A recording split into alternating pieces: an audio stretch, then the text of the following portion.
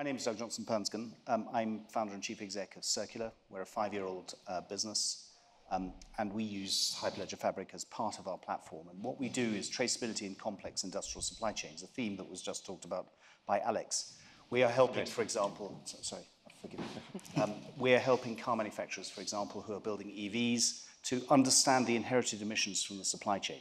Most of us, as consumers, don't necessarily realize that although electric vehicles are supposed to be better for the planet, the vast majority of the emissions from the life of an electric vehicle come from its first manufacturer.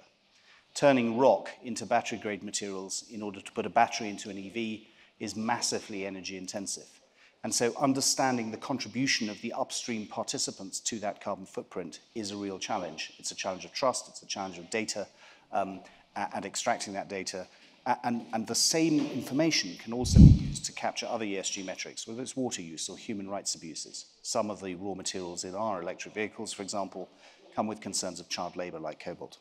Um, we've been at this for five years. Uh, we now work with a whole host of car manufacturers around, uh, around the world, just been picked by the German government as, as the technology lead for a project to create a battery passport for Germany to meet the requirements of EU's battery regulations, um, and branching out into other industries as well, other industrial materials that come with similar concerns around sustainability. So very much looking forward to this debate.